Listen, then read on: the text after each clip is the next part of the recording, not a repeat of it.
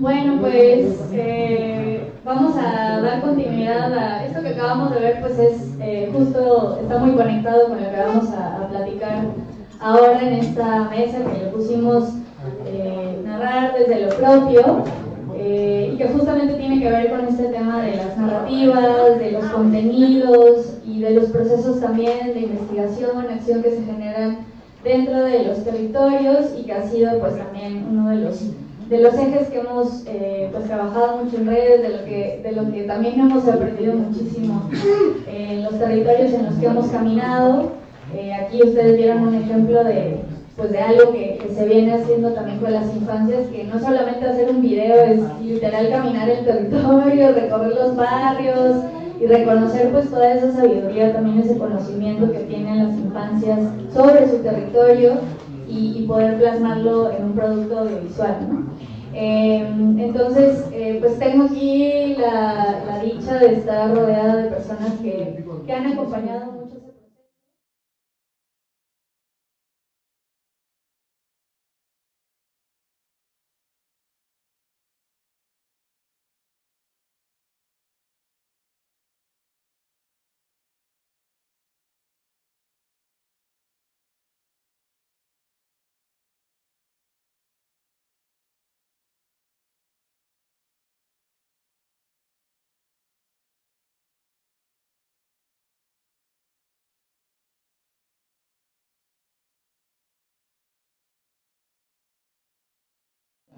calidad de gente que está aquí en esta mesa. Entonces, que nos pudieran eh, contar pues, su nombre, dónde vienen, de qué territorio y, eh, y más o menos qué han hecho, que han sido muchas cosas en su vida. No es una reseña curricular, es más o menos que se presenten ustedes y ya después entramos en materia con las preguntas.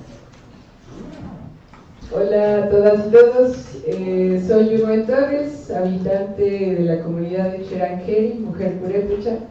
Eh, me ha tocado transitar en este caminar, como decía en el video de la niña, desde hace muchos años, en varias actividades de la comunidad. Me tocó ser ya parte de la estructura de gobierno comunitaria nombrada por mi barrio. Ah, estoy actualmente colaborando en Chamoneta Colectiva, que estamos en el desarrollo y, e instalación de una intranet comunitaria llamada Chamonita que acompaña a redes. Estamos también trabajando específicamente con mujeres en algo que llamamos Mujeres por la Memoria de Cherán y que es como nombramos el trabajo de las mujeres en la diversidad de quehaceres de la vida en Cherán y que también pues pone a nuestra propia comunidad implicada porque cuestionamos mucho el hacer también colectivo, pero eh, cómo tiene que ser adecuado para las mujeres. Entonces, es algo de lo que hacemos y laboralmente acompañamos procesos territoriales de defensa del territorio que están en alguna encrucijada eh, de, defensa del agua, del territorio, de las tierras, eh, contra minería o los megaproyectos y, y dedicado mucho a la construcción de paz. Eso, eso Hola, buenas eh, días, tardes. Eh, yo soy Miguel Cárdenas, vengo de un eh, colectivo, organización que se llama Cine Comunar en la Sierra de Chihuahua. Y primero, pues un chorro de gracias por invitarnos y estoy dichoso de estar aquí entre mujeres que nos han dado mucho que aprender.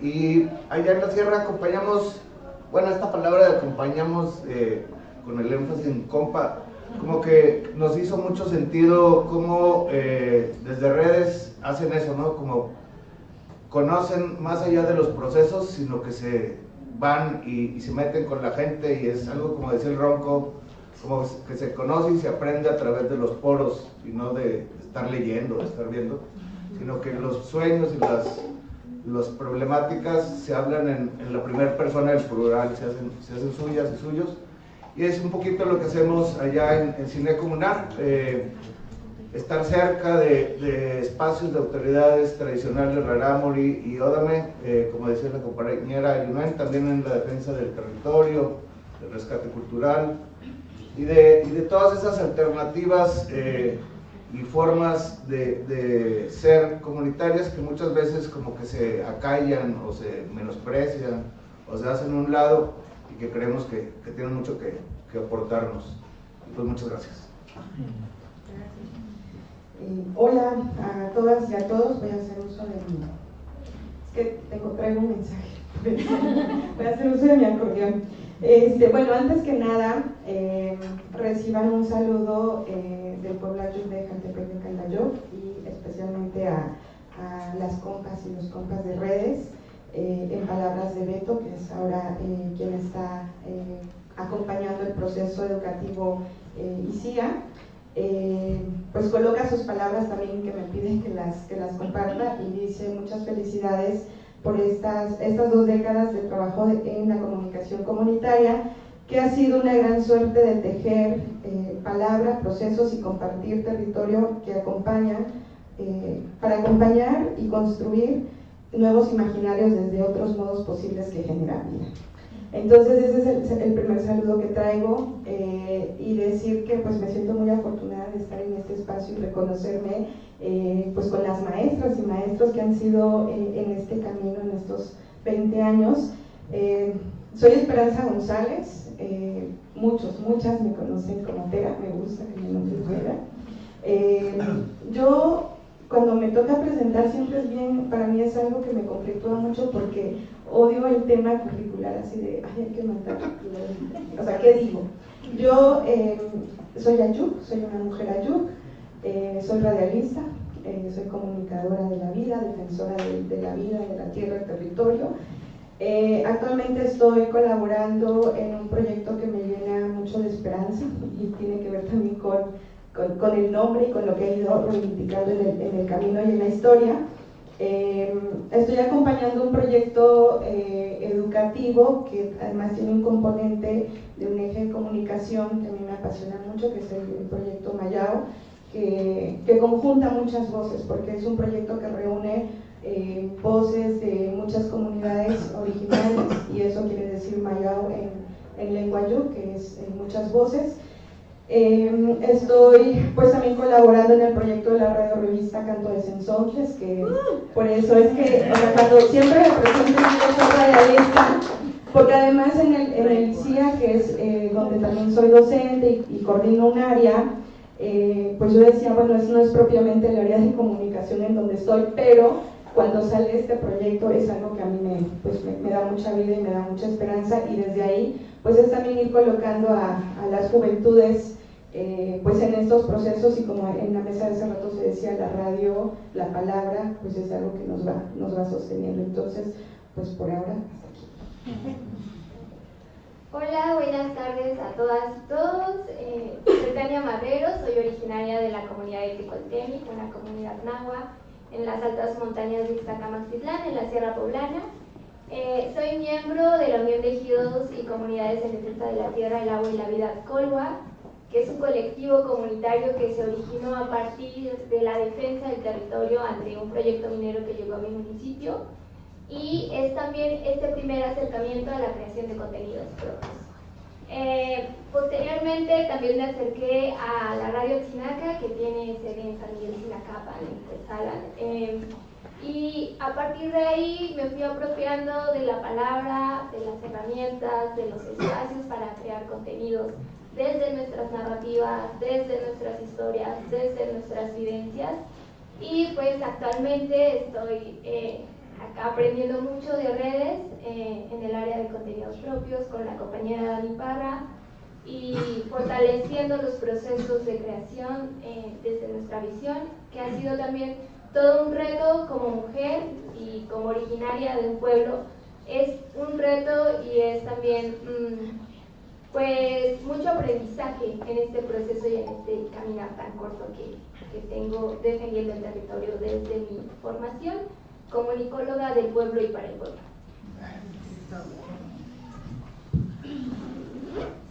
Bueno, como ven tenemos alta mesa. Eh, la, la, primera pregunta que, que quisiera aquí poner sobre la mesa es, ¿qué significa para ustedes narrar desde lo propio, hace sentido lo propio o narrar desde el territorio. ¿Qué significa eso para cada uno de ustedes? Y desde, obviamente desde las experiencias colectivas que han tenido y también investigar desde el territorio, ¿no? Este, sobre todo, bueno, quienes, por ejemplo, Mike ha estado acompañando mucho en, en uno de los proyectos que también hemos tejido con otras organizaciones, que es el CITSAC, el Centro de Investigación en Tecnologías y Saberes Comunitarios, eh, que ha buscado también generar estos procesos en donde las propias comunidades generan sus procesos de, investigación, ¿no? y que eh, ya no se vean eh, siempre con, con, la intermediación de académicos ultra profesionales, ultra formados, sino que sean desde sus, desde sus propios procesos. Entonces, ¿Qué significa esto para cada uno de ustedes narrar desde lo propio o, si le pueden poner otro apellido? Espero no soltar tantas pedradas, pero eh, pues para nosotras ha significado, y hablo en colectivo porque en Purépecha así nos enseñan a pensar, eh, todo un camino que también eh, parte de reconocer lo propio. ¿no? Creo que también al interior de las comunidades y de los procesos, de los colectivos, colectivas, hay estas discusiones profundas de, de cuánto dejamos que los otros nos retraten y nos proyecten hacia afuera de algunas maneras. ¿no? Eh, justo acá nos acompañan compañeros de la red de cultura viva comunitaria y estos eran nuestros debates de estos días, cómo no se vuelve un folclore nada más y la parte de adorno bonito cuando hablamos de cultura o de trabajos en campo y en el territorio, ¿no? Y, y, desde ahí es que también hay un gran aprendizaje para decir, bueno, mientras sigamos permitiendo que los demás lo hagan a sus maneras, eh, pues va a seguir pasando y de muchas maneras, ¿no? O sea, a, a nosotros, y voy a hablar en referencia también a un movimiento de defensa que atravesamos como comunidad indígena que tiene que ver con la defensa de los bosques y del territorio, como bien les contaban los niños, eh, pero tiene que ver con cómo eh, se, se, también mitifica esta parte. O sea, hemos tenido realizadores, cineastas y demás que en sus grandes eventos han dicho, por ejemplo, que es un gran logro entrar a Cherán, ¿no? Como, híjole, casi que te hacen el filtro y no puedes pasar. Eso no es cierto, ¿no? Y también la otra narrativa de los medios oficiales en México se han posicionado desde un primero no cruces Michoacán, ¿no? porque es peligroso y porque la violencia y te van a matar. Entonces era no vayan a Cherán porque todo les puede pasar. Y contra esas narrativas era, bueno, ¿y dónde quedamos nosotros? No? Pues qué chido que hablen de nosotros, pero ¿qué vamos a decir desde dentro? Entonces creo que eso nos empujó, a, a pesar del que conociéramos o no, digo que habíamos muchas personas haciendo lo propio desde el gusto por la radio, desde empezar a hacer unos ejercicios de video y demás, pero fue, tenemos que posicionar nuestra voz, ¿no? Y como también hay, hay, en este ejercicio una cercanía de incluso discutir entre nosotros cómo queremos presentarnos ante los demás. Y entonces ese ejercicio se vuelve complejo, pero creo que es lo más afortunado, porque cuando estamos diciendo algo desde nuestra mirada, cambia el cómo lo hacemos hacia afuera, ¿no? Y que creo que ha tenido eh, por ejemplo, en nuestra labor de Mujeres por la Memoria, eh, se creó también un espacio de fogata que excitan, que era Memoria Viva, y que en ese espacio eh, decíamos también a los académicos, pues bienvenidos, bienvenidos para hacerlos enojar, porque pues uno cuestionaba los conceptos que usaban, ¿no? Y eso no era tan cómodo, y eso era también el estigma de yo vengo estudiando desde fuera y cómo es posible que alguien de aquí que ni sabe me va a decir que no, ¿no? Y entonces es como te sitúas eh, para hacer una investigación, pero también abriendo todos los sentidos para decir eh, la investigación se hace de otras maneras. Entonces en Cherán, por ejemplo, lo que empezamos a hacer fue que aquí no vas a venir con una grabadora de primera mano a hacerlo, tienes que venir a conocer la comunidad. Y muy pocos investigadores lo han aprendido, ¿no? Muy pocos realizadores han entendido que la lógica es voy, me integro a la comunidad y después en un son de confianza la información va fluyendo y puedes tener algo, un retrato mucho más firme y claro, certero de lo que es ahí. De tal manera que el ejercicio, por ejemplo, de les presentamos esto que queremos decir hacia afuera, ah, nosotros estábamos de acuerdo porque lo discutimos con ellos y porque se vuelve un intercambio de no soy el que sé todo y vengo a enseñarte, sino como también hay aportes y sabiduría y conocimiento desde los territorios, que eso muchas veces se desdibuja, porque los que llegan de fuera es como, yo les voy a enseñar la verdad y al usar, ¿no? Y tenemos como muchos detalles con eso porque acuden y aluden como al, hay que sacarle una fotografía a estos compañeros con su traje y la cámara, casi casi diciéndoles venimos a los pobrecitos a enseñarles a usar una cámara y dónde se prende, ¿no? Y que seguro sí nos toca, pero que lo hacemos de otras prácticas como reconociendo que también tenemos esa capacidad. Entonces creo que eso ha sido una parte dura trabajada durante estos años, pero que también incluso nos ha llevado a espacios académicos que después entendimos por qué había coraje de otros, porque nunca pudieron acceder con sus investigaciones. Y uno sin saberle, pues acabó escribiendo y haciendo cosas y llegando ahí, pero porque no era la intención, porque nuestra intención también es primero cómo se aterriza la comunidad. Creo que hay un objetivo bien claro de que lo que nosotras hacemos tiene que ser en el primer pensamiento cómo lo entregamos a la comunidad, cómo ese es nuestro primer filtro de ahí hacia afuera, lo que uno logra o donde acabas es algo extra, pero si la comunidad es el punto principal, ahí hay mucho cambio de cómo vemos las cosas, ¿no? Y eso nos ha pasado eh, con Mujeres por la Memoria de Cherán en el tema de fotografía, en el tema de la producción radiofónica en lengua, en el tratar de hacer eh, esta otra narrativa que viene desde nosotras y que también desdibuja y desromantiza también lo que puede ser un proceso, porque es como le damos la parte crítica al interior, ¿no? O sea, puede dibujarse algo que se oye bien bonito, Cherán 13 años luchando, sí, pero tenemos un montón de retos y contradicciones al interno. Y nosotros hemos sido esa parte incómoda, ¿no? Y somos mujeres incómodas porque pues tenemos que hacerlo. Pero eh, eso creo que son los matices que hay eh, que rescatar desde dentro y que nosotras consideramos esto, el tener la humildad de decir estamos aprendiendo, hay un diálogo constante, pero se nos hace más fácil dialogar con quien por supuesto lo entiende y quiere hacerlo, ¿no? porque hay gente que se cierra y no lo hace. Y entonces eh, de este otro lado hay eh, cualquier tipo de investigación o trabajo que se haga, es como también en estos tiempos, porque nos ha tocado escuchar a mucha gente, es que sí tiene que haber una militancia al hacer investigación, ¿no? O sea, no puedes ir con un punto neutro intentando entender un proceso al que ves. Entonces creo que eso lo hemos dicho mucho recientemente en Cherán, porque ha sido un aprendizaje también a prueba y error, ¿no? Como todo. Pero creo que son eh, los puntos que podría nombrar eh, y el que nosotras nos sintamos cada vez más cómodas de que lo que estamos mostrando es algo que nos identifica, que nos representa y que son nuestras propias palabras y reflexiones que seguirán siendo, ¿no? Y que también decimos bajo conceptos dinámicos, que no son nada estáticos, que todo tiene que ir cambiando y adaptándose también al tiempo que nos ha tocado vivir en esta realidad, complejo, violento, eh, lleno de, por ejemplo, ¿no? ni, ni siquiera un reconocimiento a lo indígena, si cuando estamos viendo desde fuera cómo nos describen, es preocupante también que, que, la sociedad esté creciendo creyendo que los indígenas somos casi casi el monstruo, ¿no? Entonces creo que ahí hay mucho trabajo de todos y sé que acá hay un montón de experiencias de gente que está eh, haciendo comunicación y que también pues por ahí tiene que ir el hilo, ¿no? Hay que darle foco a los pueblos indígenas y afromexicanos, al trabajo que estamos haciendo y a de verdad reafirmar que somos capaces de hacerlo aunque nos toque aprender en el camino.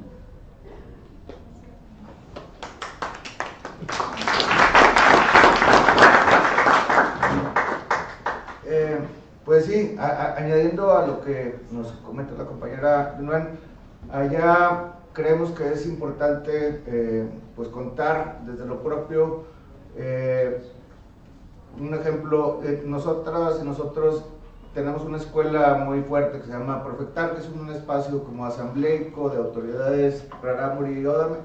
Como la sierra está muy grandota, se dividen en, cuatro grandes regiones y, se juntan para, para, platicar, para conversar y, conversan de temas muy variados, desde temas como estructurales, como el papel de la mujer como pilar fundamental de la cultura, que es la que va pasando de generación en generación la lengua, las tradiciones, eh, el papel ahora y antes de las autoridades tradicionales, cómo se ha ido modificando por, los contextos y las realidades, hasta temas ya más coyunturales como la minería, los megaproyectos, el turismo, la escuela, la iglesia, etc.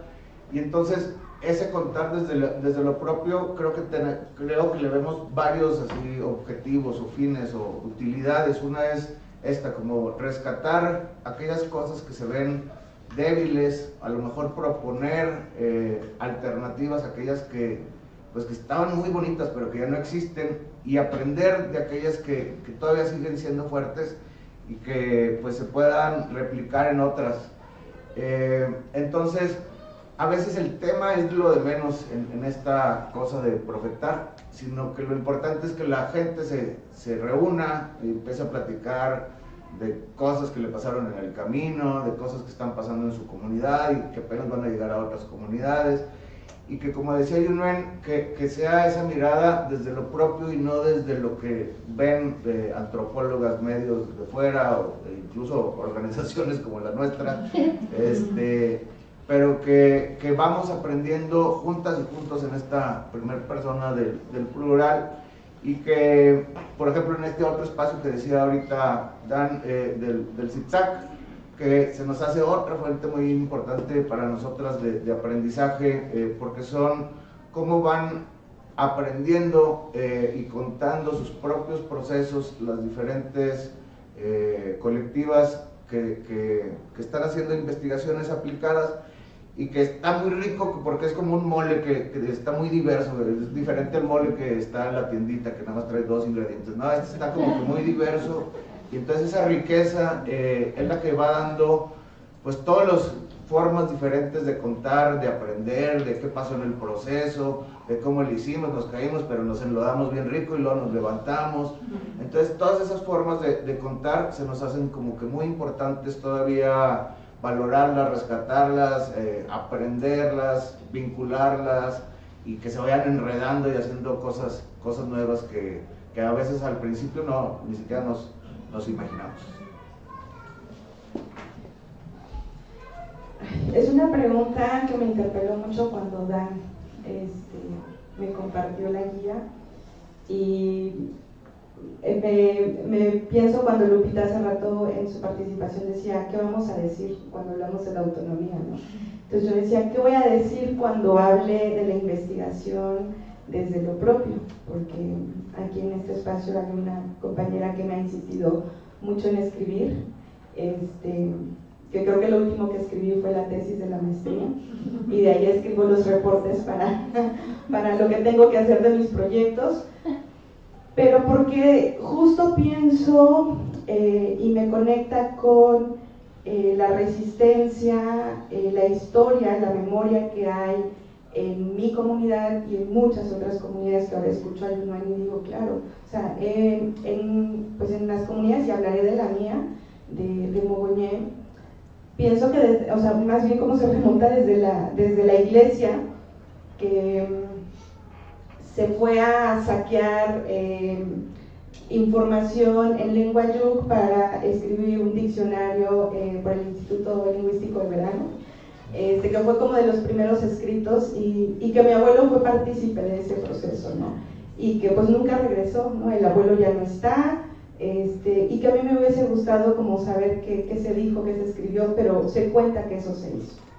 Entonces me viene como a la mente esta parte de, o sea, traigo una resistencia, pero al mismo tiempo pienso eh, que es una potencia, ¿no? Pensar, eh, narrar, eh, escribir, recuperar la memoria desde lo propio, porque tiene que ver también con cómo vamos colocando sobre la mesa algunas cuestiones que pues a muchas generaciones nos han lastimado, pero también está la otra parte de todo tiene que salir hacia afuera. O sea, ¿qué, es, ¿qué se tiene que quedar para nosotros y qué se tiene que ir hacia afuera? Y cuando lo pienso en términos muy rigurosos y muy estrictos de la investigación, pues es que muchas veces se deja de lado esta parte eh, de reconocer el conocimiento propio que las, que las tías, las abuelas, este, nuestra familia tienen, eh, campesinos, campesinas, y que se va solamente como con una línea clara, así como vamos a hacer, eh, vamos a ver si esta planta de frijol este, o esta semilla puede producirse en interna, pero digo que que es también una oportunidad para esto, colocar en el centro y reconocer esos saberes propios que hay y colocarlos desde la, desde la mirada propia, ¿no? desde ir reconociendo junto con las mujeres em, eso que, que, está ahí y cómo lo vamos transmitiendo. Y me conecta, y aquí la radio juega un papel muy importante en el proceso que yo he hecho de eh, ir a hacer investigación. Y el maíz es un, un, tema que me ha anclado mucho y que me conecta dos historias con dos mujeres que han sido como claves en, en mi vida, una, eh, una, tía abuela y otra que es la abuela de, de, de Israel, eh, ahora ya es mi colega, antes era mi alumno. Este, primero con mi tía cuando la primera vez que yo me acerco con una grabadora con ella, estaba desgranando en mi pueblo, así como vimos en la videocarta, eh, pues el maíz está en todos los corredores de las casas. Y eh, pues ella desde muy temprano, 5, 4, 5 de la mañana, para aprovechar la frescura de la mañana, porque mi pueblo es eh, pues caluroso, es húmedo, este, pues hay que aprovechar y parar antes del mediodía. Este, pues ella saca su silla, sacaba su silla porque ya, ya pasó a otro terreno, este, y extendía como toda la mazorca, ¿no? Entonces a mí ese, ese sonido eh, pues nos despertaba, o sea, era como parte del arrullo, pero también del despertar la alarma de que ya está el trabajo. Y la primera vez que yo me acerco con ella para grabar el sonido, porque pues aquí la comunicadora tenía que grabar paisajes sonoros, corrió a, a grabar cómo desgranaba ella el maíz, ella se quedó quieta, ¿no? Así como, ¿qué está pasando? O sea, llegué con el cacharro y, y lo puse, ¿no? Eh, y entonces, eso fue como mi, primer, eh, mi primera confrontación, ¿no? De, dije, estoy reproduciendo lo mismo que, que, que critico, ¿no? Y lo mismo que, que, me provoca esta resistencia. Y entonces, cuando le expliqué por qué, por qué era importante eh, documentar estos sonidos que, parecen, que son cotidianos en la comunidad y que, pues a veces no los, o sea, como que no no reconocemos estos sonidos que están ahí en la comunidad y que son los que nos dan vida, porque además el maíz es alimento, pero también es sustento porque se transforma y se vende lo que, lo que se produce y de ahí se, se mantiene la familia. Yo le decía, en muchos lugares estos sonidos no existen y en muchos lugares la tortilla llega, pero no se conoce el proceso de cómo, cómo se produce, cómo se limpia el maíz, cómo este, a qué suena el maíz cuando está cayendo el grano del, del olote, ¿no? Y entonces construí, eh, me acuerdo que en ese entonces estaba colaborando en una radio, construí una capsulita, eh, y cuando ella se escuchó en la radio, porque además le pregunté, me contó la historia y cómo sembraba y el tipo de maíz, y cuando yo le dije que ese material lo quería llevar a la radio, quería que lo escucharan en todo el municipio, este, pues a ella le daba pena porque nunca se había escuchado a sí misma. ¿no? O sea, como, eh, pues sí, habla todos los días con su familia, pero nunca nadie la había grabado, no era voz. Y cuando proceso todo eso, eh, llega el día que se iba a transmitir, le dije, pues hay que aprender la radio, además es mi, era mi vecina. Le dije a mi hermana, ponle radio todo volumen para que lo escuche, pues toda la cuadra. Este, lo escucha y para ella lo primero que, que le rezó, o sea, lo primero que provocó en ella fue llanto, porque era, o sea, como escuchar algo que para ella era tan natural, pero que nadie le había dado como esta importancia de llevarlo a otro espacio, ¿no? Eso fue primero para ella, o sea, ella ya tenía 60 años, más de 60 años. Entonces fue como su primer, como su primer acercamiento hacia, pues yo lo, o sea, todo lo que yo veo, pues es algo que no es cercano a mí, ¿no? Y entonces a partir de ahí, eh, para mí fue descubrir también la importancia de regresar a lo propio, de, de, escuchar la sonoridad que tiene la comunidad y por eso me he empeñado mucho como en el tema de la radio y la importancia que tiene y la potencia que tiene la palabra dentro de este espacio, de poder potenciar esas voces que ya están en la comunidad pero que no son escuchadas, eh, algunas veces son leídas, pero fuera de la comunidad y no dentro de la comunidad. Entonces, cuando pienso en esta palabra que me coloca o que nos coloca a discutir y a mirar desde lo propio, eh, me lleva y me conecta con esas historias como Melita, como Paula, que es otra abuela también que cuando se escuchó, cuando escuchó los programas de canto de Sensón, les dijo, ¿a poco existen espacios donde sí puedan hablar de estos temas que, pasan en nuestras comunidades? O sea, era, para ella era imposible pensarlo también. Es una, eh, Paula una mujer afro-mexicana que emigró de la costa y llegó a Tierra Sayuk buscando mejores condiciones de vida y tierras y tampoco había tenido esa posibilidad y ese acceso. Entonces, estas dos historias me hacen pensar en cómo la, la posibilidad de poder eh, narrar desde lo propio recobra un sentido no solo desde, desde lo que académicamente puede ser un producto eh, para llevarlo a muchas mesas y presentarlo en ponencias, sino más bien devuelve esta posibilidad de soñar eh, como se decía hace rato también en la mesa, ¿no? de soñar que estas herramientas pueden tener una utilidad eh, dentro de la comunidad, que nos pueden servir para denunciar, para eh, dar avisos de que algo está ocurriendo en el pueblo o justo esto, reconocer lo que en nuestras comunidades está pasando. Entonces,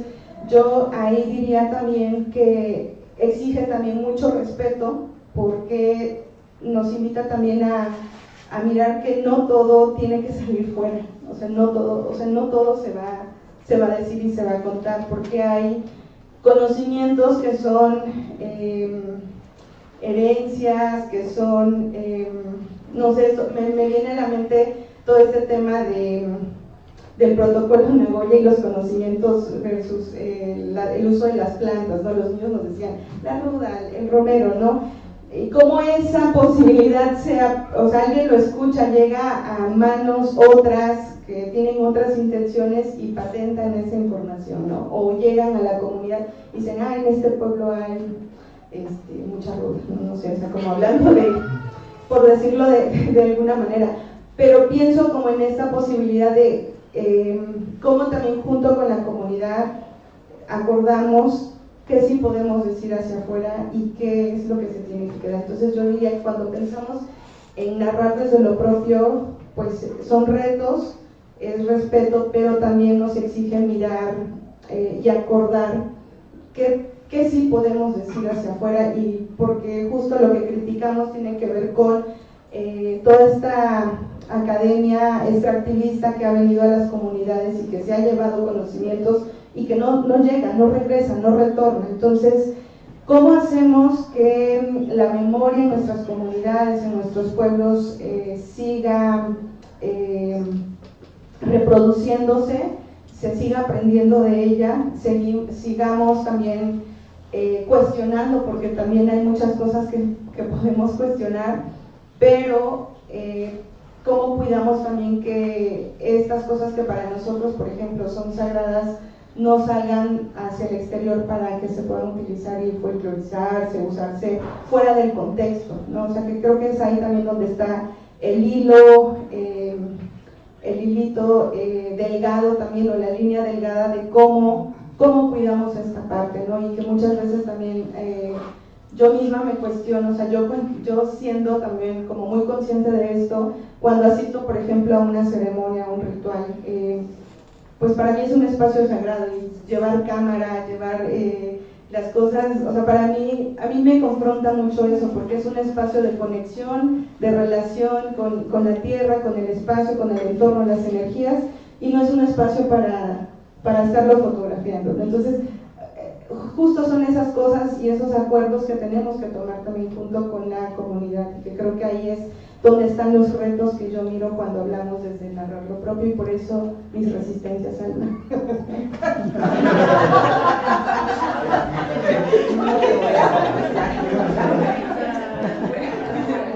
es que debo decir que Alma me decía hace rato, escucha, hay alguien que sí está escribiendo, escribe, escribe, y yo, oh, no, no son pretextos.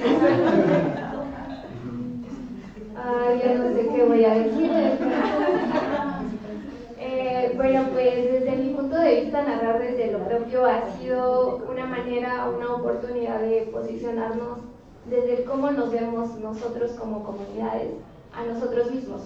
Porque nos ha pasado mucho que desde fuera nos pintan de una manera que no nos identifica y que no nos hace sentir parte de esa manera en la que nos están pintando, en la que nos están describiendo, en la que nos están mostrando. Y creo que algo muy importante de esto es que es una oportunidad para documentar quiénes somos, para guardar memoria de quiénes somos, porque lamentablemente en mi comunidad pues ha habido mucha pérdida de, de la identidad desde la necesidad de adaptarte y tener que sobrevivir, ¿no? tener que poder acceder a servicios básicos que si tú te muestras como arraigada a tu comunidad, pues lamentablemente no puedes acceder. Entonces creo que esta oportunidad de guardar memoria de lo que son nuestras comunidades y lo que son nuestros pueblos es pues sobre todo fortalecer los procesos comunicativos y también poder transmitir a las generaciones que vienen quiénes somos. Porque a mí ya, a mí ya no me tocó saber cómo se hablaba la, variante de mi lengua, por ejemplo. Y creo que si nosotros rescatamos desde ahora quiénes somos, mis hermanos, mis sobrinos, probablemente mis hijos puedan saber quiénes somos desde estos tiempos. Y algo muy interesante también, y creo que es como uno de los puntos que nos diferencia un poco de cómo se nos mira desde fuera, es que somos nosotros los que habitamos las comunidades quienes narramos, quienes creamos, quienes difundimos a través de nuestros propios medios. Y algo que es muy importante es que se creen contenidos para nosotros mismos también, porque muchas veces se extrae solamente la información, se extrae el conocimiento, pero no se devuelve. Y algo que me parece como muy curioso es que pues yo me fui a estudiar y así, entonces era como esa contradicción un poco entre, ah, sí, la academia y hacer y crear desde esta lógica de, del teórico no sé qué, pero también estaba esta otra parte que decía, bueno, tú vienes de dónde, qué tan mm, ético, qué tan lógico es hacerlo desde tus narrativas, desde tu identidad, y fue un poquito como este reto y esta bronca muy interna que tuve durante algún tiempo, pero creo que me ayudó también a reconocer que es mejor hacerlo desde lo que te conecta, porque eh, no sé si les ha pasado, pero a veces eh, como que quiero decir algo, pero justo lo que decía Pera, que sí y qué no se puede decir, porque son procesos internos, porque las comunidades tienen sus formas de comunicarse, sus formas de construir, sus formas de decir.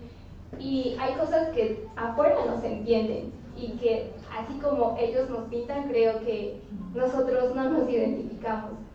Y eh, parte de el narrar desde lo propio, pues también eh, me pude conectar con Periodismo de lo Posible, que es una serie de 12 podcasts que tuvo su primera temporada el año pasado y que refrenda mucho el decir narrar desde lo, desde lo propio, porque somos nosotras, nosotros como comunicadores o comunicadoras comunitarios, quienes construimos, quienes eh, podemos traer esta información desde nuestras comunidades, pero sobre todo devolverlas, porque muchas veces no llega, y si llega, llega como con otros fines, desde otras perspectivas, desde otros enfoques, y algo que me parece muy interesante mencionar es que hay momentos en que yo iba con las personas, pero no desde esa postura académica periodística de decir, hola, ¿cómo te llamas?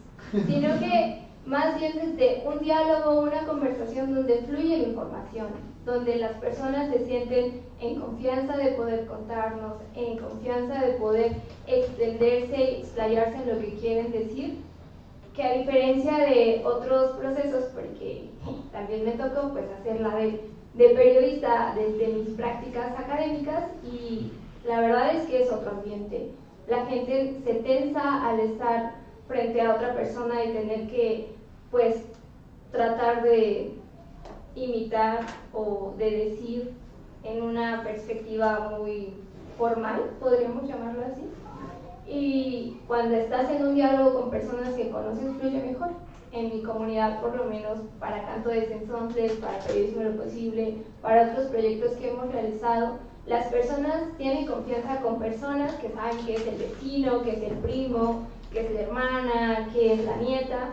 Y ha sido también una de las fortalezas que yo he tenido para poder narrar desde mi comunidad desde mi visión y desde la visión colectiva, eh, porque creo que mucho de esto es hacerlo en colectivo, hacerlo en comunidad, no desde el individualismo, porque mucho de esto pues nos lleva como a buscar fines muy mm, particulares y desde lo comunitario también nos hace representar a la colectividad, que creo que es muy importante. Y retomar estas oportunidades también para crear nuestros propios espacios, porque muchas de esas ocasiones que nos hemos visto eh, en la nota del periódico Fulanito, es como de, pero esto no está pasando, o no, no está pasando de esta manera. Eh, es por eso que también es importante que podamos crear, pero también podamos abrir espacios que sean propios, eh, medios que sean nuestros, que sean nuestras voces, que sea la voz de la comunidad y mm, también tejer redes con otras colectividades, con otras comunidades, con otras personas que están tejiendo también desde narrar lo propio y desde narrar desde la comunidad.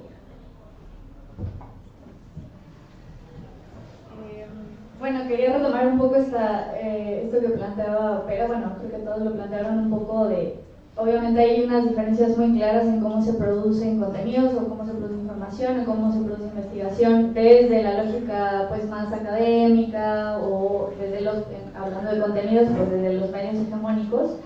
Y hay una intención completamente distinta de, de, lo que se hace en los territorios, pero eso, como decían, también lleva ciertas tensiones, lleva ciertas reflexiones. Eh, creo que en los últimos años, en este proceso de acompañamiento también, en la parte de creación de contenidos, también hemos tenido reflexiones muy interesantes de desde dónde narramos y para qué narramos, ¿no? Como esta parte que decía Tania al final, ha habido, hay una intención también de contar, sí, desde adentro para adentro de las comunidades, pero también de abrir estos espacios, y lo que también decía Pera, que tanto abrimos, que tanto decimos hacia afuera, porque también hay que pelear un poco como ese espacio.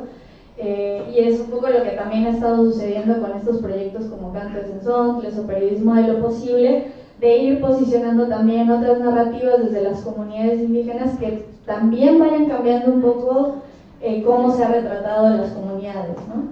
Eh, por ejemplo, tú hiciste un cortometraje, también has incursionado en el cine, es que aquí hay gente que hace un poco de todo, has hecho cine, radio, este, de todo, un poco de investigación. Eh, y ya estamos viendo también a un, un, movimiento también de cineastas indígenas muy importante, ¿no? Que están llevando todos estos contenidos a la pantalla grande, ¿no? O que estamos abriendo con Canto de Sensibles este espacio en las, en las radios públicas, universitarias, eh, y hay una apuesta también narrativa, ¿no? ¿Qué historias estamos contando ahí? ¿Qué historias están contando ahí? ¿Y cómo se cuentan? Que hay una hay un cambio, ¿no? Hay que me parece que también ha cambiado mucho la forma en la que se narraban esas historias hace algunos años a lo que se está proponiendo ahora, que también apuesta mucho por esto de contar lo posible, esto de contar la potencia de las resistencias, sin dejar de denunciar, pero también narrar algo que está ocurriendo en los territorios. ¿no? Quisiera, quisiera saber cuál es su reflexión al respecto, desde la experiencia que ustedes han tenido, ¿no? como incursionando también en estos, en estos lenguajes audiovisuales que obviamente no fueron creados en los territorios o con las herramientas, pero que sí eh, se están generando cosas muy interesantes, ¿no? Y, se están posicionando también contenidos muy chidos, historias muy chidas, eh, desde, desde, las, desde, las, desde los territorios. Entonces, compartir un poquito eso. Mm, ahí contar, eh, como retomando esta experiencia de incursionar en otros temas, primero eso, ¿no? Como nosotros allá también nombramos mucho lo occidental, porque son contenidos eh, no dirigidos hacia nuestros pueblos. Y eso lo hace una complejidad. Y, otra complejidad es que nosotros, cuando estamos a muchas, muchas horas de la capital, no hay eh, pues como esta posibilidad de, de, de, hacer un estudio como más formal o preparar todo demás. Y acabamos en, en esta formación y por ejemplo en la más reciente que, que, que compartí con muchos compañeros eh, en Michoacán y compañeras, fue complejo porque te enfrentas también a una lógica de, así ah, que bonito, venimos a hacer cine, eh, ya, ya que salga lo más folclórico que se pueda y es cine documental, pero híjole, no lloro como tú querías, de nuevo. O sea, a mí eso se me hace una farsa, por ejemplo, Y eso nos llevó a una discusión muy dura, porque es como, pues si estamos tratando de retratar nuestros pueblos, hay que también ser lo más auténtico posible, ¿no? Y eso pues genera discusiones y tensiones también con aquellos otros que llegan desde fuera, que, que, nosotros, por ejemplo, la reflexión con algo que estamos haciendo que se llama Parangua, que son con otros compañeros, precisamente realizadores de cine, que estamos visitando las comunidades en un ejercicio de enseñar lo poco que sabemos, para que ellos también tomen esas herramientas y produzcan algo que quieran. Y, y, que también es pelear con esa lógica de que es el gran equipo y que si no tienes una cámara de 600 mil baros ni grabó nada, o sea, esas cosas, ¿no? Como que romper también esa lógica y ese discurso, pues te lleva a otras cosas, a decir, no, tienes el celular, todo el mundo ya tiene buena cámara, hagamos, ¿no? El contenido es lo importante, cómo lo queremos presentar, qué queremos decir, cómo vamos a contar lo que estamos viviendo hacia los demás, pero con esa autenticidad de poder generarlo, ¿no? Con lo poco que tengamos, y así lo hemos hecho, ¿no? O sea, la mayoría de las cosas que salen es con muy bajo presupuesto y casi milagros, ¿no? Porque cooperamos para hacer que eso pase. Pero no es como que se tenga ahí la, la gran cosa o los recursos que se tengan a la mano para hacerlo. Y en esa reflexión nosotros dijimos, y que lo voy a decir acá honestamente, es tomemos de esta instrucción del cine lo que nos sirva.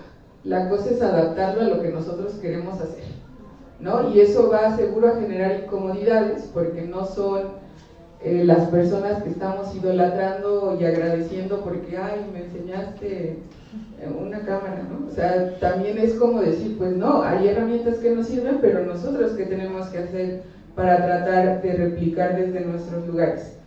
Y eso lo tomamos como un ejercicio para hacer porque en efecto, el, documental, el video, eh, la producción de radio, lo estamos tomando como una herramienta también para hacer frente a lo que estamos viviendo. Y tener la experiencia, por ejemplo, que logramos ya estar en varios festivales importantes de cine, en donde justo en, Michoacán fue como, algo está pasando, como que quedaron tantos realizadores de cine indígena en Michoacán, ¿no? Como, ¿ay qué pasó? Pero pues es porque hay una necesidad de decir, vamos a romper el estereotipo del actorcito güero que está llegando a la pantalla, ¿no? Porque eso no pasa en nuestro México, ¿no? O sea, la mitad de los personajes que aparecen se parecen a nosotros, y menos a los pueblos indígenas.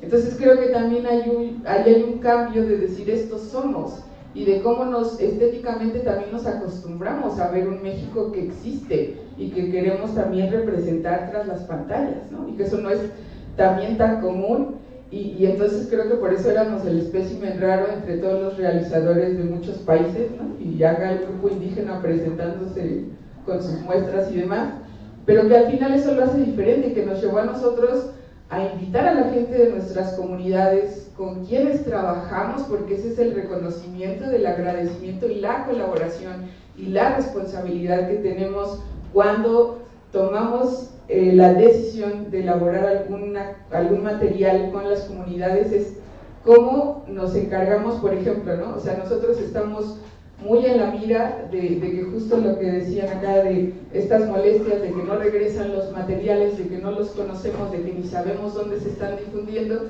es cómo nos garantizamos que el, el primer regreso sea la comunidad en muchas situaciones no pudo pasar, nos seleccionaron antes en el Festival Internacional de Cine de Morelia, pero lo que hicimos, ah, pues llevemos a la gente a los cines, ¿no? Y hicimos un relajo para conseguir boletos y lo que sea, pero era como vamos a entrar a las salas, porque también tenemos que estar ahí, ¿no? Y también esos espacios se han descuidado como una posibilidad para nuestros pueblos de ah, también tener acceso a esos espacios.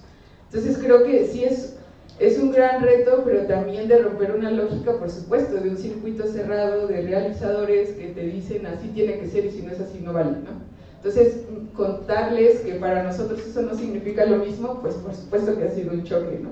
Y aparte cultural también muy fuerte.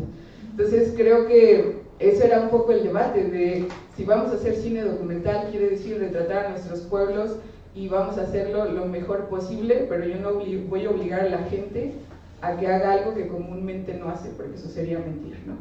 Entonces creo que, que ahí hay mucha potencia en cómo lo estamos entendiendo varios y varias en los lugares y que se está posicionando también este tema y que poco a poco, o sea, hasta en algo muy simple va cambiando también la lógica de cómo lo vemos nosotros mismos y cómo está ya retratado en otros espacios y que decir, pues sí podemos, ¿no? O sea, o si no se puede, generemos nuestros espacios, pero está pasando. Entonces creo que eh, ha sido como ese gran aprendizaje y también eh, el no tener miedo a enfrentarlo, ¿no? O sea, porque luego muchos compañeros y compañeras no quieren decir nada porque el experto es el otro, ¿no? y, y cuesta mucho romper eso para decir, a mí no me parece, ¿no? Y lo contradigo y es incómodo, por supuesto, pero tenemos que hacerlo. Entonces ahí va cambiando tampoco también el chip de cómo, de cómo lo hacemos y cómo cuidamos también eso, porque también lo que decía, ¿no? para nosotros ha sido una discusión que sacamos, que tanto sacamos, que no sacamos,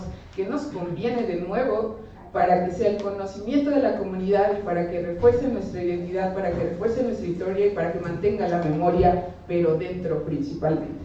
Entonces creo que, que, en eso estamos y así como en ese ejercicio de cine, eh, también lo hacemos a través de estos otros espacios de radio, de foto o de lo demás que va saliendo.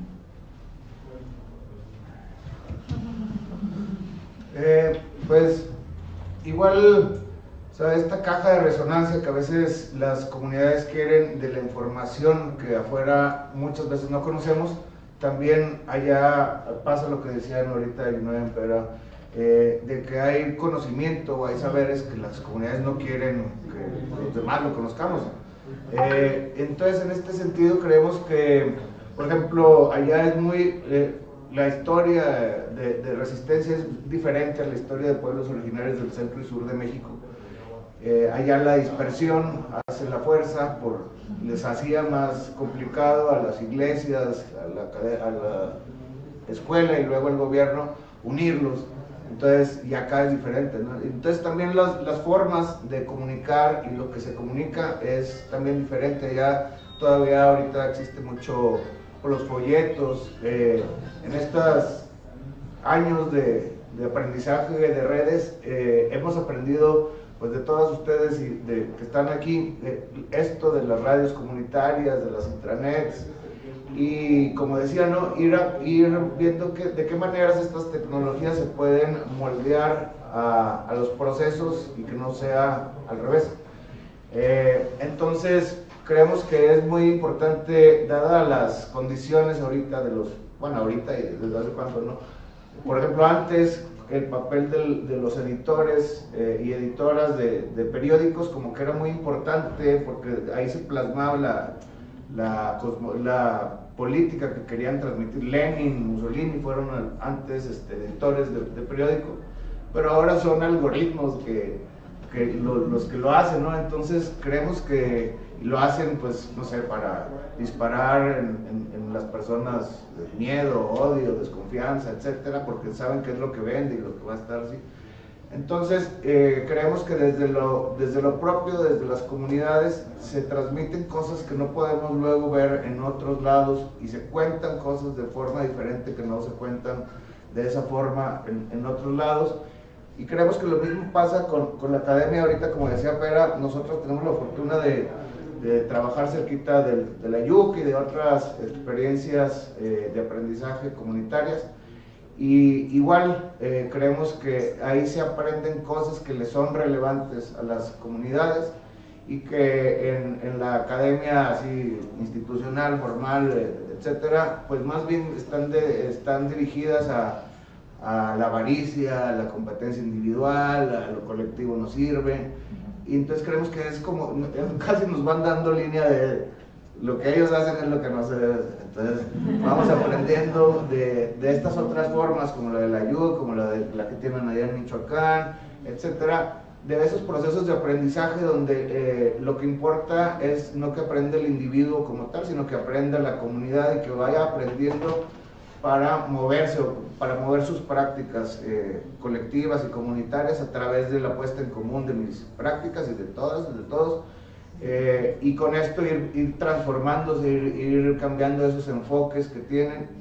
Eh, y es a lo que le, estamos apostando en, el CITAC, en, en Cine Comunal, en Proyectar, en el colaboratorio, a estas vinculaciones y a estos aprenderes de, de otras y de otros y ir moldeando eso que, como decía ahorita ver, ver eso tan valioso, cómo se puede transformar, qué nos sirve y cómo nos sirve. No manches, el trabajo que hicieron ayer, digo allá, allá Dani y Dan eh, de la videocarta me dijeron, ay, por favor que no sean más de 10 niñas y niños, y eran como 30, y aparte eran eh, niñas y niños de, de Krill, Ajá, de Krill, eh, mestizas, mestizos eh, y rarámuri, pero también de una comunidad que se llama Cuechi, de otra que se llama Mogótago, que para empezar estuvo chidísimo que se juntaran porque no se conocían, y que empezaran a platicar, y qué quieren que salga la educar, ah, no, pues que esto, cómo jugamos, cómo hacer las tortillas, mi abuelita, cómo, eh, etcétera, entonces ya el, el juntarlas, ya no sé cómo lo hicieron, eh, estuvo, estuvo, muy padre y ahora pues se saludan, eh, cuida chuganí, etcétera, y antes pues no, porque no se conocían.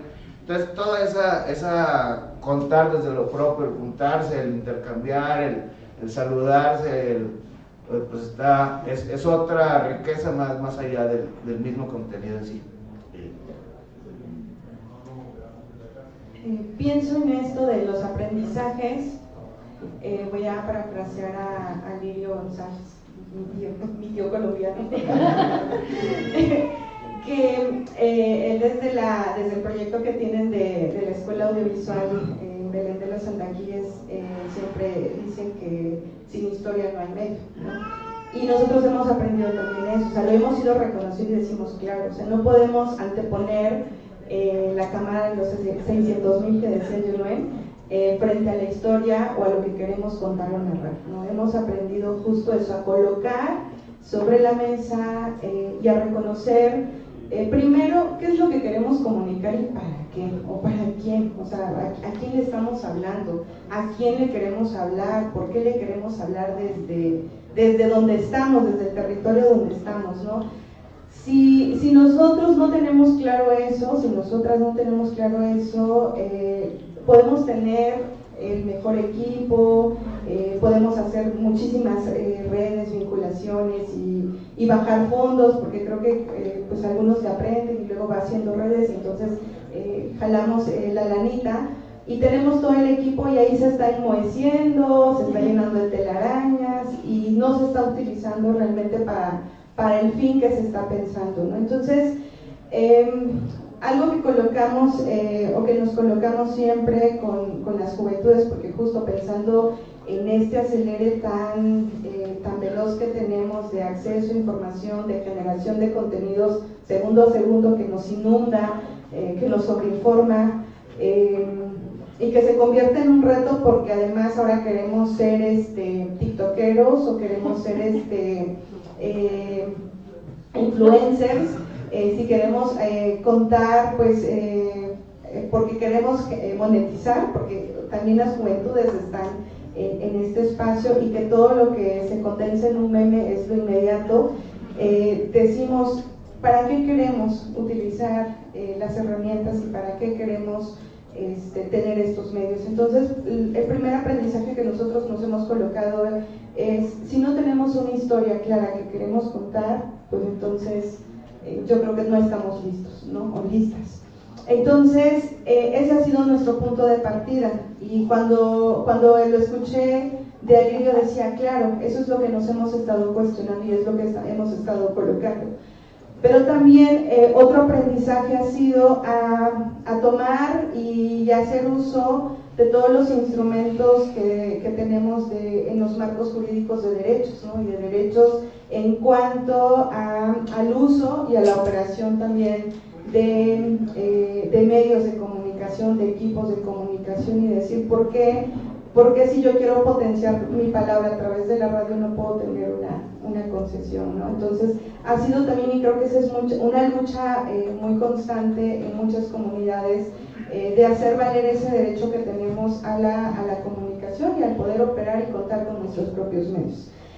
Y entonces pienso también eh, que en el otro aprendizaje es cómo llevamos la palabra que, que todos los días se reproduce en la comunidad, en el techo, en la asamblea, en el molino, en la casa, en el fogón, eh, a estos otros espacios, ¿no? desde cómo lo estamos eh, contando o diciendo, porque también tiene que ver, así como lo, lo retrataba Juno desde el cine, pienso desde la palabra en cómo hablamos, no es que sí no se dice, no, no, o sea, es también cómo, cómo estamos hablando desde nuestra comunidad y cómo eh, eso que, que vamos aprendiendo, porque bueno, también decir que pues la academia nos va a enseñar y nos va a dar rutas y caminos, cómo eso lo transformamos para retornar y poderlo eh, aplicar a, nuestros contextos. Y sabiendo que nuestros contextos son eh, variados, distintos, complejos, eh, territorios, pues que así como Yunay que le queda seis horas, a mí me queda 12 horas en capital, ¿no?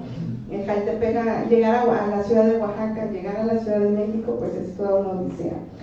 Eh, ¿cómo, ¿Cómo hacemos también que eso que aprendo yo desde lo instrumental, pues también se pueda traducir a algo sencillo y que sea práctico para que pueda ser operante? ¿no? Entonces, eh, juntando como todos esos elementos, creo que uno de los aprendizajes ha sido poder reconocer eh, que podemos eh, hablar de las cosas que a nosotros y a nosotros nos interesan, desde el hecho de hablar de la vida cotidiana, de lo que hacemos en, la comunidad y poderlo plasmar en, un programa de radio o en un formato de, eh, de corto documental. Y traigo aquí una experiencia eh, que yo sigo todavía trastocada después de dos años, eh, que fuimos a, hacer con estudiantes de la carrera de comunicación a Mesa de Chapalilla, que es una comunidad rarita en Nayarit, junto con estudiantes de ITESO, en la, creo que ellos llevan audiovisuales, es la licenciatura. Y en esta idea de ir reconstruyendo el tema del cine, pensamos y se trabaja en una metodología colaborativa de pensar eh, el cine colaborativo, que es, es, más o menos el proceso también de las videocartas, ¿no? porque es una construcción que viene desde la, eh, pues la idea en, este, en, este, en, esta experiencia trabajamos con eh, adolescentes de una secundaria comunitaria, eh, en esta comunidad en donde pues nos encontramos, nosotros decíamos, no, pues es que en Jaltepec estamos eh, muy alejados, ¿no? O sea, Mesa en Chapalilla nos enseñó otra realidad y nos enseñó que somos muy privilegiados en la comunidad de Jaltepec porque tenemos un río enorme, en Mesa de Chapalilla pues no hay agua, ¿no? O sea, estuvimos tres semanas y creo que solo yo me bañé dos veces, ¿no? Y eso porque llovió, porque acceder al tema del agua, o sea, era priorizar tener agua para lavar los trastes o, o bañarme yo, pues mejor agua para alimentarnos. Eh, y entonces, eh, cuando llegamos allá, pues era también, pues, eh, pues llegamos con todo el equipo y era así como, wow, ¿no? Pero decíamos, a ver, esto lo podemos utilizar, eh, sí, es muy fácil aprenderlo, sí, porque hay que apachurrar botones y esto, pero ¿qué es lo que queremos contar? Y entonces empezamos a descubrir una infinidad de historias y también de esta um, oportunidad de decir, quiero contar todo, todo, todo lo que pasa en la vida de la comunidad. Y bueno, se, se trazaron tres, eh, tres, temas, dos que recuperaban la historia eh, desde la cosmovisión virrarita y una desde la vida cotidiana de lo que hacen los niños y las, bueno, los adolescentes de, en su vida cotidiana, ¿no? desde ir al río, desde eh, un río que quedaba aquí cerquita, que eran tres horas caminando. Este, y entonces eh, se llevó todo el proceso, la parte técnica, ellos aprendieron a usar la cámara, ta, ta, ta y llegó el momento de hacer un primer corte y ese primer corte era con la comunidad. Y entonces le dijimos al maestro, oiga, vamos a hacer esta devolución, este, pues hay que invitar a la comunidad. Este, y dijo, sí, vamos a invitar este, a, a, la comunidad. Pues la comunidad no es muy grande, entonces se convocó y llegó todo el pueblo, los papás, las mamás, los hermanos, los primos, los abuelos, las abuelas, hicieron una fiesta, o sea, para ellos era una fiesta pensar la proyección de una película, o sea, de tener cine en la comunidad. Entonces, pues era una manta, era un cañón, una computadora y unas bocinas, ¿no? se llenó la cancha de, la cancha de básquetbol, que también es la cancha de fútbol, y entonces era impresionante em, cuando las personas se veían retratadas en la pantalla y que se señalaba, mira, ahí está, y en, y en se, se, decía, ¿no? Y era, eh, o sea, para mí era como impactante y emocionante ver lo que provocaba verse retratado y verse en una pantalla y ver la posibilidad de que, de que podemos estar en esos espacios y que podemos ocupar también esos espacios, ¿no? Entonces era reconocer también cómo eh, en este ejercicio de derechos, en esta oportunidad de em, tomar los medios, también podemos eh, estar representados no con actores que vengan a decir cómo hay que actuar en nuestra vida cotidiana, sino con las personas que todos los días nos encontramos en la comunidad.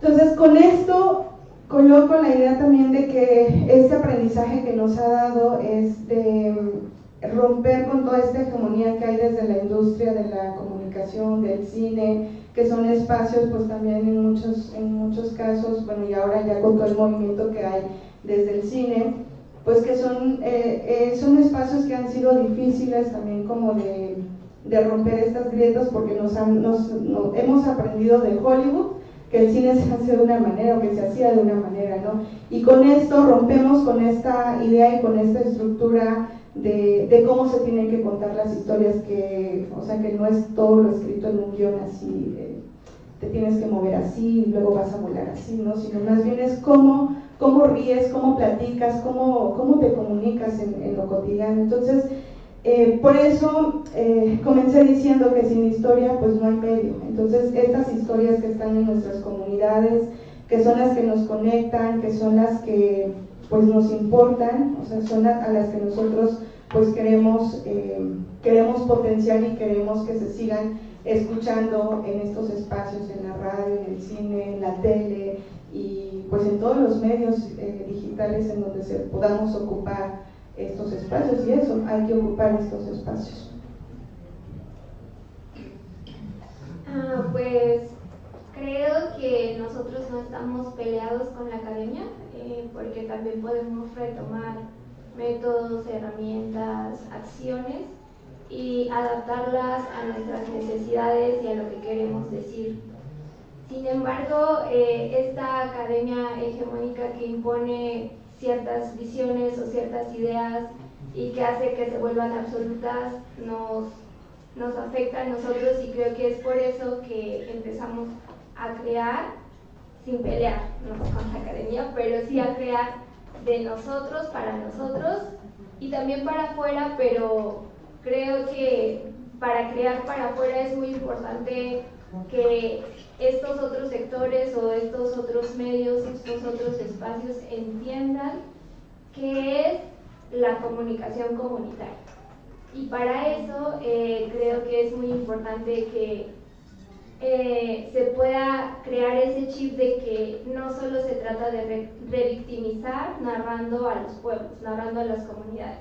Creo que la industria mediática se ha encargado como de pintarnos así como de, ay, pobrecitos, mírenlos, eh, están sufriendo, eh, ya les llegaron los 100.000 proyectos y se están manifestando y no sé qué. Entonces creo que nosotros no lo hacemos desde eso. Como comunidades muchas veces luchamos desde la fiesta. O sea, y muchos dicen, ¿qué? O sea, pero si esto es una pelea, ¿por qué están festejando? Y no, o sea, nosotros tenemos formas distintas de manifestarnos y de extender nuestra voz y nuestras ideas.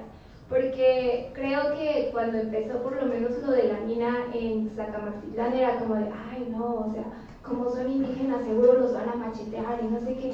Probablemente, dependiendo de la situación, pero tampoco se trata, ¿y por qué no? Exacto, pero tampoco se trata como de, ay, no, son los salvajes, no sé qué. Entonces, creo que por eso es muy importante que nosotros sepamos también abrirnos esos espacios y prolongar nuestros procesos de una manera que fortalezcamos lo que estamos haciendo como colectividades y en las luchas también. Eh, también creo que una manera de resistir es como poder probar otras vías, porque no todo es como, ah, sí, se hace de esta manera, eh, como que la vieja escuela te, te, deja mucho eso, ¿no? Te enseña a, no, tienes que seguir este método y encontrar el resultado. Y en las comunidades lo hacemos distinto. Creo que tenemos muy en claro que cada individuo que forma la colectividad o forma la comunidad o forma el pueblo sabe algo. Y cuando lo juntamos, sabemos todo. Eh, y ha sido también un proceso muy mm, fuerte porque pues quienes van y enseñan en las comunidades pues siempre es gente que viene de fuera y que muchas veces pues trae este chip de no, pues enseña de esta manera y así. Y hay muchas cosas que enseñan y que son buenas porque desde las infancias se pueden fortalecer los procesos de conocimiento, pero también creo que es importante que puedan conectar con la comunidad y que entiendan los procesos educativos que también se viven en las comunidades.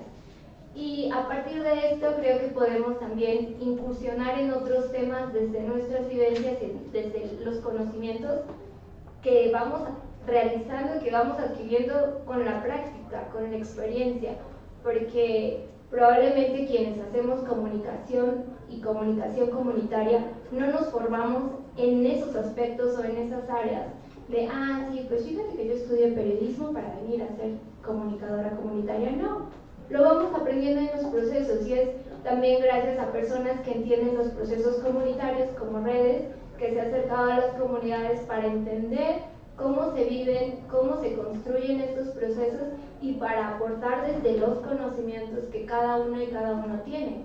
Creo que es muy importante esto porque eh, Así no nos peleamos con la academia o con los profesionistas, sino más bien construimos y tejemos juntos, que es algo que eh, me parece muy valioso dentro de las organizaciones que acompañan los procesos comunitarios y los procesos de defensa del territorio, que entienden quiénes son las comunidades, qué actitudes, qué actitudes, qué caminos se forman desde dentro y se integran. Y no van a imponer qué es lo que quieren que se diga o qué es lo que quieren que se haga.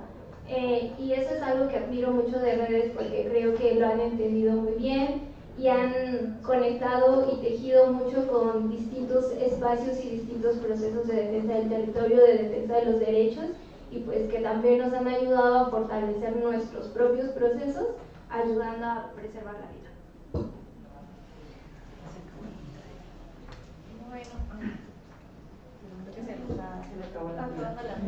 Bueno. Están silenciando. A ver si ya.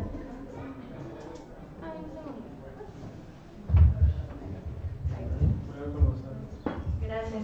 Bueno, pues eh, ya casi llegó la hora de, cerrar. Eh, ya está, está haciendo hambre.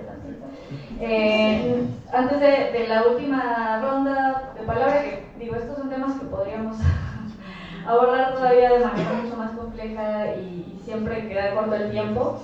Quería eh, eh, aquí leer algunos saludos de personas que han también escrito en la transmisión. Está Gis Hernández, que también es compañera en Canto de Sensoncles, eh, que también nos manda felicitaciones.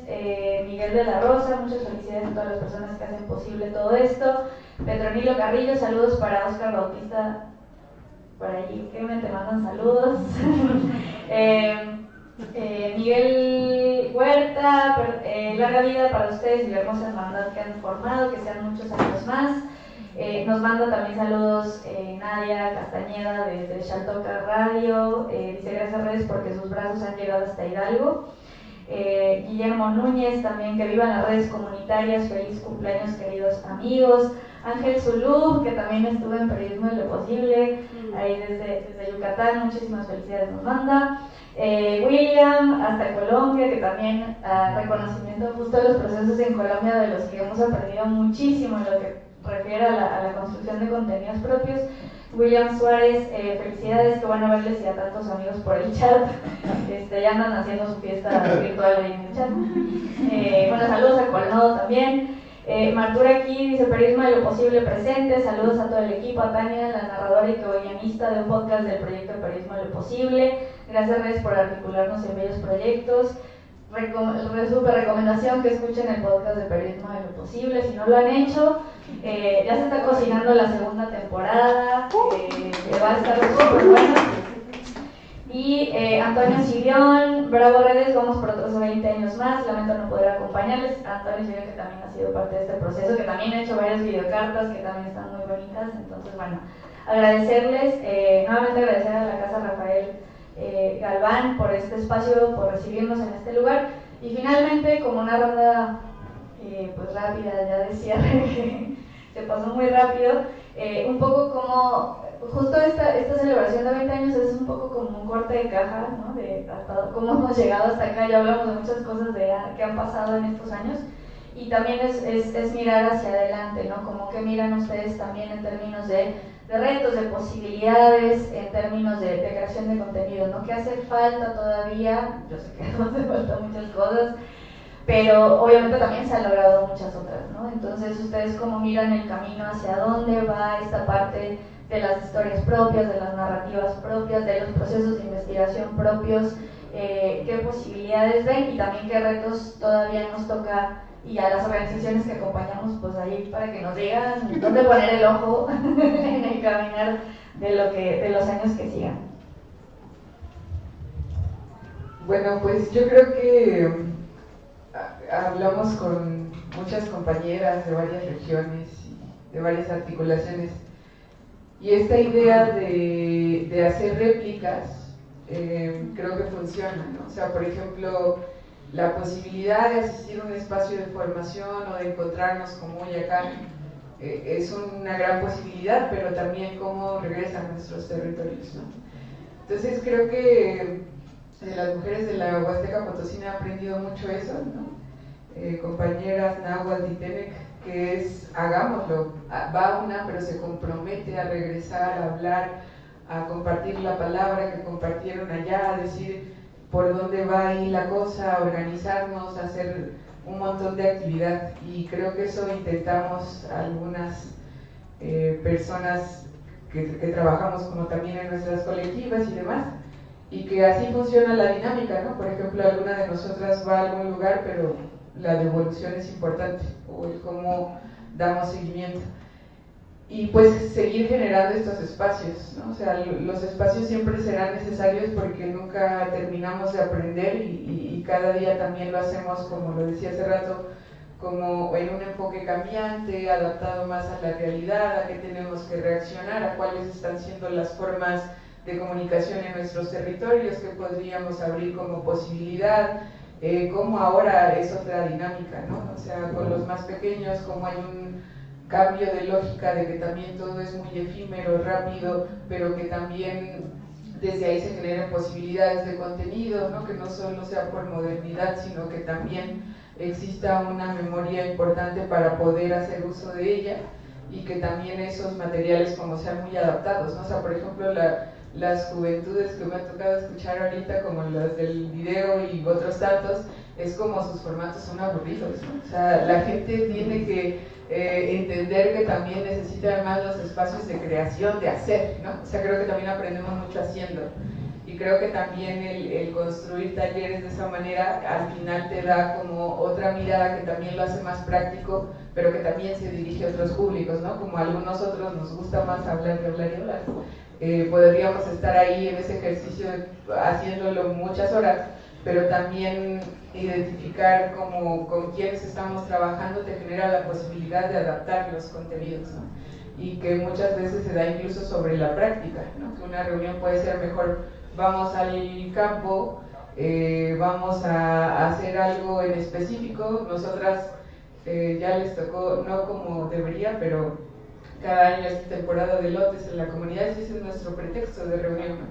Hay que ir a la lotiza, pero ahí se definen cosas importantes. Entonces, como que esos espacios son necesarios y, deberíamos fomentarlos y también para la mirada desde la organización de la sociedad civil, pues está en eso. Creo que hay muchas organizaciones muy valiosas como redes que están intentando poner la mirada en las formas, en cómo llegar, en cómo dialogar, en cómo hacer parte. Sé que eso cuesta un poco de más trabajo, pero a los investigadores, investigadoras y organizaciones que nosotros apreciamos mucho, tiene que ver con aquellos que se han metido más en un sentido también de amistad. de que llegan a la casa y de que si ya no tuvieron que investigar, pues al menos hay que platicar, ¿no? Para sentirnos al objeto de estudio, pero pues eso funciona de otras maneras.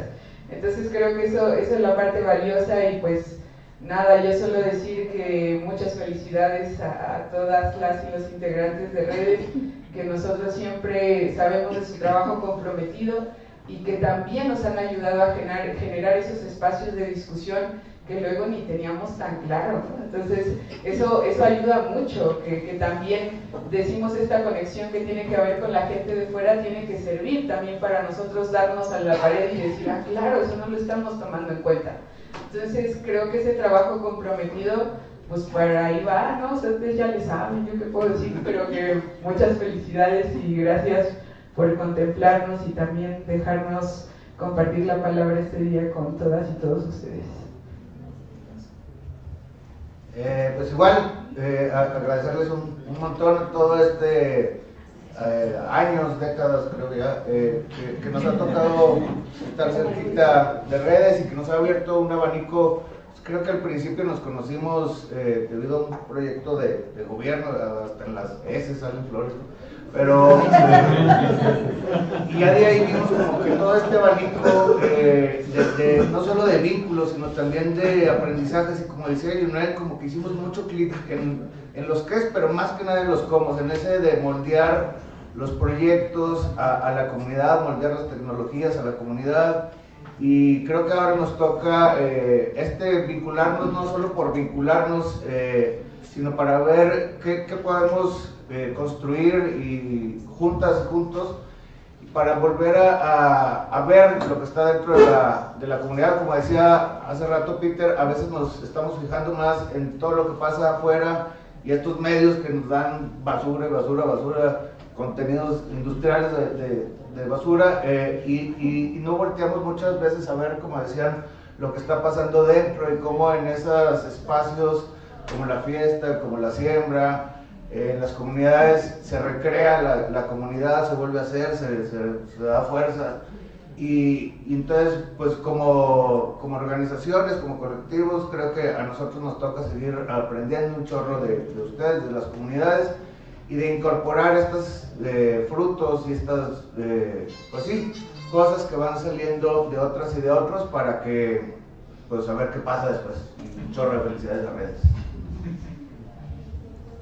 Yo voy a cambiar la pregunta que decía Dan, de qué hace falta, yo diría que no, que no haga falta siempre la fiesta. Porque la fiesta es resistencia y, y, creo que justo con redes ha sido ese camino de irnos enredando también desde la, desde la fiesta, desde la celebración, desde reconocer la vida. Este, y creo que nos ha dado la oportunidad también de poder ir tejiendo con otras y otros eh, comunicadores, comunicadoras que nos han acercado y de verdad que este espacio, de verdad yo estoy profundamente agradecida este, porque me permite reencontrarme con muchas personas, con mucha bandita que hace mucho tiempo no veía, ¿no? Y que eso me emociona, pero también me hace pensar eh, que también gracias a redes, pues conocí a Eugenio Bermejillo, conocí a Carlos Plasencia, este, y que se nos adelantaron y que eran voces muy importantes para, para pensar cómo hacer la milpa, decía Carlos Plasencia, ¿no? Es, la More iba para allá.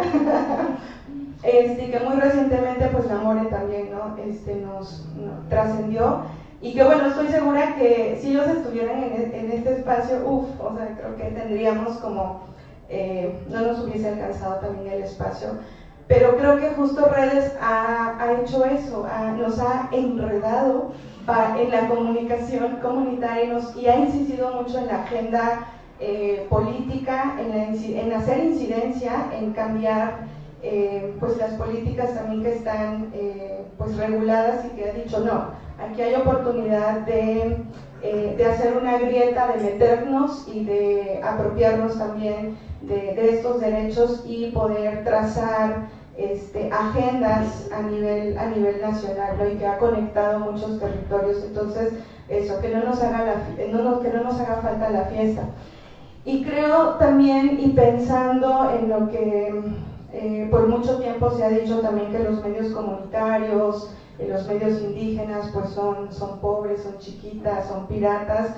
Yo digo ahorita, no, o sea, no somos ni chiquitas, ni pobres, ni piratas, al contrario, somos muy ricas porque tenemos mucha historia para contar, pero tenemos algo muy importante que hemos desafiado también todo este monopolio, es decir, podemos hacer las cosas con mucha calidad, podemos hacer producciones em, con mucho profesionalismo y con mucha calidad, y que creo que eso es lo que, lo que nos ha caracterizado a quienes hemos acompañado, algunos desde hace 20, otros nos hemos ido sumando en el camino, en estos procesos, ¿no? De, y creo que redes también nos enseña eso, a hacer las cosas Em, em, colocando las agendas públicas en el, en el, escenario, en el espacio, pero también hacer, haciéndolo con mucho profesionalismo. Entonces yo diría que eh, agregaría eso, que no dejemos de acompañar los procesos eh, desde el corazón y con toda la creatividad que tengamos en nuestras comunidades para seguir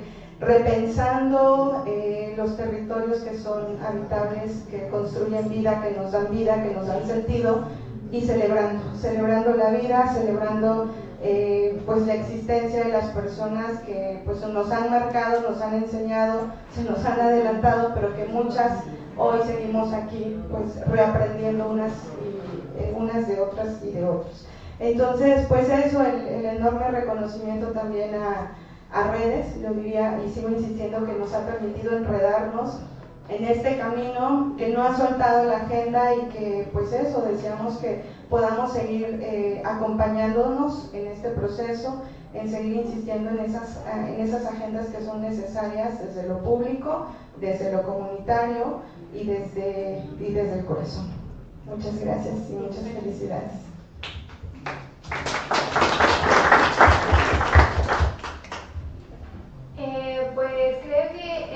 podido avanzar y encontrar un camino para contrarrestar las narrativas hegemónicas.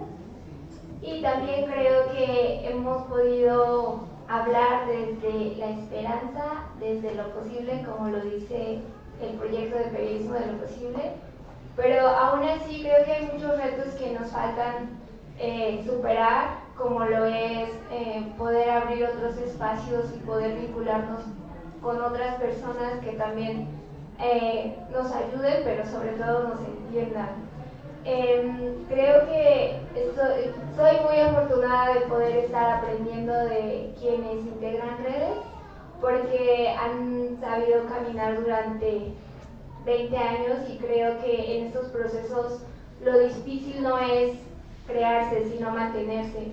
Em, y pues creo que vamos eh, por buen camino creando vínculos con demás pueblos, creando vínculos con demás defensores, em, entendiendo los procesos que se viven desde dentro de las comunidades y desde los pueblos, porque aunque seamos llamados pueblos indígenas, cada uno tiene sus particularidades y sus formas y sus procesos que no tienen nada que ver con el vecino, que lo hace de diferente manera. Eh, creo que estamos reafirmando nuestros procesos de resistencia y dignificando también cómo nos presentamos y cómo nos mencionamos desde dentro hacia, hacia el exterior. Y pues que sigamos compartiendo la vida desde la festividad, desde la celebración, desde el estar bien con el otro, que a pesar de que nos quiere poner una mina, puede ser mi cuate, porque aunque son intereses peleados, creo que lo que nos unifica aquí es que somos humanos y que este sentido de, de sentir, de, de, escuchar y de compartir la vida nos une. Y pues invitarles también a que escuchen la primera temporada de y que esperen Encanto desde entonces, cada martes se estrena un episodio. Y que se preparen para la segunda temporada que seguro va a estar muy muy buena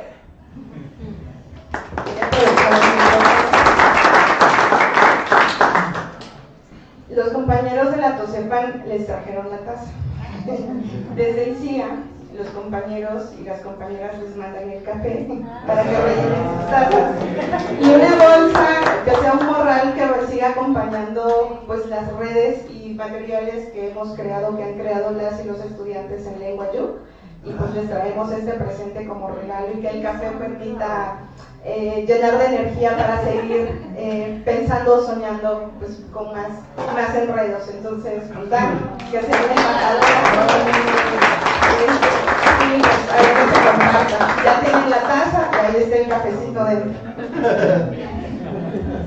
Hermoso, muchas gracias. Pues a nombre de mis compañeras, compañeros, agradecerles profundamente su, su paciencia también con nosotros todo este tiempo, porque luego estamos ahí, oye, no quiero, ¿por qué no hacemos esto? ¿Por qué no hacemos el otro? Y también se han sumado a nuestras locuras y las hemos soñado juntas y juntos y también por compartir pues muchos proyectos y muchos sueños que, que, ya son una realidad y que seguramente van a venir muchas cosas nuevas.